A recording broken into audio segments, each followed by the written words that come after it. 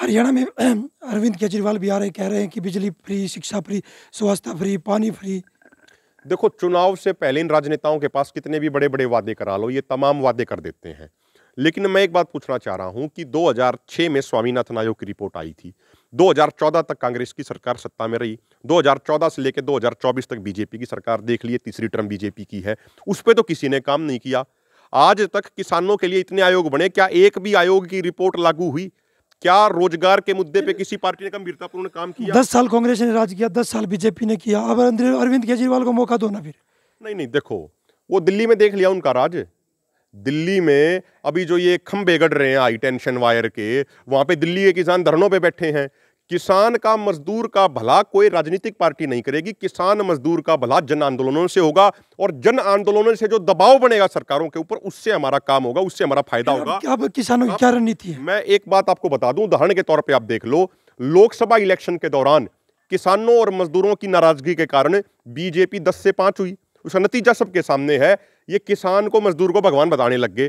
पहले बताते थे आतंकवादी, पहले कहते थे नक्सलवादी। इनके जो कृषि मंत्री हैं, जेपी दलाल, वो किसानों की शहादत का मज़ाक उड़ाते थे, कहते थे, ये तो वैसे भी मरने ही थे, ये तो वैसे भी। तो हमारा ये कहना है, जो आपने पूछा ना सवाल कि हम किसान क्या सोच रहे हैं, देखो, हमने तो एक चीज़ देखी है। जिस पॉलिटिकल पार्टी ने सत्ता में रहते हुए किसानों पर गोलियाँ चलाई हैं, हमारे 800 से अधिक किसानों को शहीद किया है, लगभग 500 किसानों को घायल किया है लखीमपुर खीरी के अंदर चार किसान और एक पत्रकार भाई को गाड़ियों के नीचे कुचला है। महिला पहलवानों को सड़कों पर घसीटा है। उस पार्टी से पूरे प्रदेश की जनता नाराज़ है और ब्याज समेत हिसाब किताब अब की बार इनका करेगी। ये लोगों ने मन बना लिया है और लोग अब इसके लिए पूरे तरीके से तैयार हैं। देखिए, हमारे साथ और भी किसान हैं। क्या कहना चाहोगे? मैनिफेस्टो आया बीजेपी का। हर खेत तक पानी भेजेंगे। चौबीस चौबीस फ़सलों पर एमएसपी गारंटी। अग्निवीर योजना के तहत नौकरी। भाई देखो ना तो नौकरी दे। झूठे वादे मैं एक सच्ची घटना बताऊँ देता ही दो चार दिन पहले सिलेंडर भरवाया था। एक रुपया इकहत्तर रुपये सब्सिडी आई है। तो झूठ बोल रहे हैं सारी। ना नौकरी दें ना ये पानी दें कुछ भी नहीं दें। दूसरी बात एक रुपया इकहत्तर रुपये हम क्या काम चल रहा है। भैया सब्सिडी ई सिलेंडर पर खास कौन दोनों कापी ला गए एक और बात भाई पानी। सरकार बनने के बाद पाँच सौ रुपये में सिलेंडर मिलेगा। कांग्रेस भी कह रही है बीजेपी भी कह रही है। हमने कोई सरकार में कोई भरोसा नहीं भाई। हम तो कोशिश सरकार। नहीं कोई भरोसा नहीं है वह फिर बात आओ है। अगर हमारा काम किसान मजदूरा काम चल रहा अपने जन आंदोलनों से अपने इकट्ठे रह गए एक बार किसकी सरकार बनाएँगे किसान? भाई किसान सोचेंगे बताओगे जो हमारा भलाचा होगा जो हमारे मैनिफेस्टो की कोई बात नहीं है लेकिन जो हमारे भले की बात करता है हम उसके बारे में सोचेंगे। हमारे साथ और भी किसान हैं। चाचा क्या कहना चाहोगे?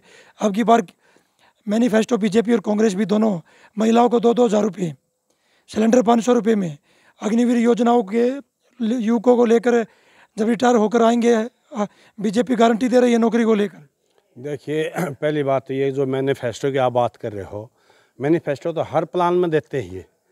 कोई वायदे पूरे किए हैं उन्होंने कभी तो कह रहे कि 2014 में जो वायदे किए थे हमने पूरे कर दिए। ना। वो तो उन्होंने पंद्रह लाख रुपए का भी जुमला छोड़ा था। और एक गृह मंत्री ने बोला ये कह रहे कांग्रेस ने भी कटाकट कटाकट टकाटक आठ हज़ार रुपये आने थे वो भी नहीं आए। बीजेपी कह रही है हम कांग्रेस का उसका वो नहीं करते हैं। कांग्रेस ने बोला था कांग्रेस ने दे दिया। हम उसका भी कोई वो नहीं करते हैं। लेकिन जो आप कह रहे हैं कि मैनिफेस्टो में उन्होंने तो आम जनता के सामने पंद्रह लाख रुपया जुमला बोला था। आपने एक बात कही पानी का। जब किसान ने खेत के अंदर पानी की ज़रूरत थी उस समय किसी नहर में पानी नहीं आया। और आज जब लोग बाग ऊपर वाले ने जब मेहरबानी कर दी किसान के ऊपर तब ये पानी छोड़ करके बैठ के डुबोने के लिए दबोने के लिए ना आग फ़सल बर्बाद हो जाए, ताकि किसान बर्बाद हो जाए। नहीं, अगर ये ऐसे थे, जब किसान को पानी की ज़रूरत थी, उस समय नहर को छोड़ते। जबकि हम, हमारा एक डेलीगेशन एग्रीकेशन डिपार्टमेंट में भी जा कर के आया जब ज़रूरत थी उस समय, लेकिन कभी पानी नहीं आया, और आज तीन दिन पहले नहरों में पानी छोड़ दिया। अगली बात रही अग्निवीर की। अग्निवीर आप ये कह रहे हैं कि नौकरी देंगे? तो पीछे इनका एक मंत्री बोला था कि इनको हम उसकी चौकीदारी की नौकरी दे देंगे। अरे तुमने जब नौकरी अगर चार साल की दे दी उसको पक्का ही क्यों नहीं कर देते पंद्रह साल के लिए? पहले भी तो पंद्रह साल एक सिपाही जाता था पंद्रह साल वहाँ करके आए देश की सेवा करे और अपना आकर के घर तो में सरकारी नौकरी गारंटी दे रही है बीजेपी। गारंटी तो पता नहीं क्या क्या दिया है इन्होंने? कभी वो किया पूरे? वही तो हम कह रहे हैं कौन सा वायदा पूरा कर दिया? एम की उधर से हाथ जोड़ करके गारंटी दिया था। अगर भाइयों मेरे से गलती होगी है? बीजेपी या कांग्रेस? नहीं वो तो समय बताएगा लेकिन बीजेपी नहीं आएगी। बीजेपी नहीं बीजेपी आएगी? नहीं आएगी। बीजेपी तो इस- कह रही है कि हम तीसरी बार प्रदेश में सरकार बना नहीं, नहीं, ये तो नामुमकिन है। मोदी जी मोदी जी आ रहे हैं। गोवाना में रैली करने। हाँ, कुरुक्षेत्र में भी क्या था? कुरुक्षेत्र में क्या था? कितना आदमी था?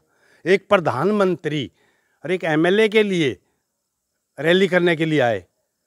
कुरुक्षेत्र में क्या हुआ था?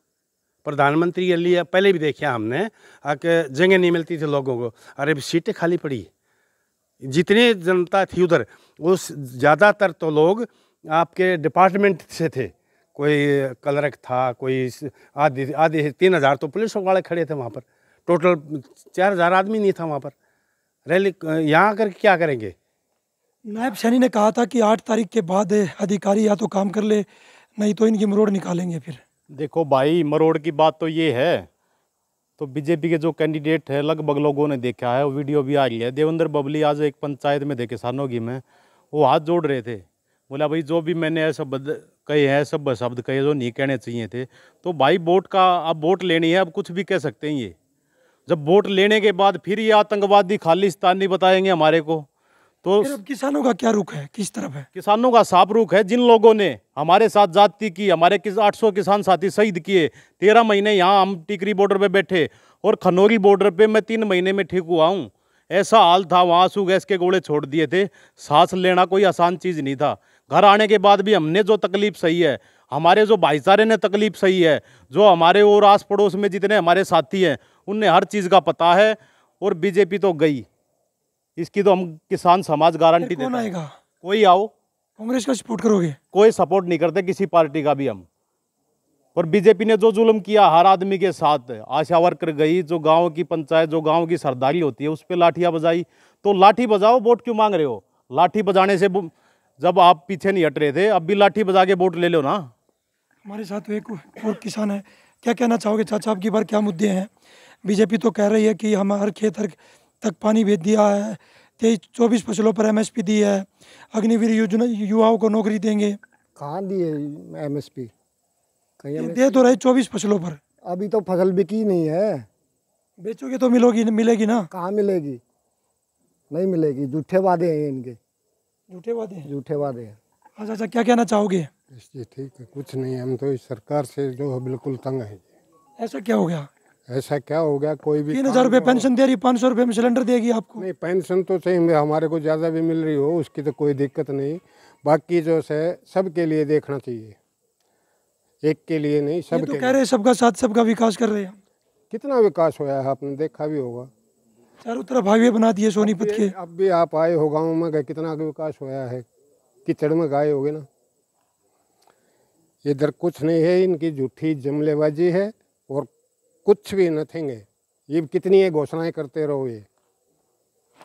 देखिए हमारे साथ किसान एक चीज़ और है ना जैसे आप बोल रहे हो कि कि ये किसानों का है। कुलदीप बिश्नोई ने दो दिन पहले वो ड्रामे का आपको भी पता होगा और लेकिन हम भी थोड़ा बता देते हैं उसके लड़के ने किसी किसान का ज़बरदस्ती फ़ोन खोस करके ज़मीन में दे करके मारा जो टूट गया।